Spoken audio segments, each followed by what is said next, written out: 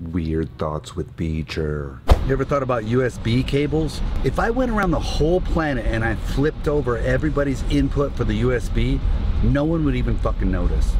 Did you know in Sweden they have a word for crying while masturbating?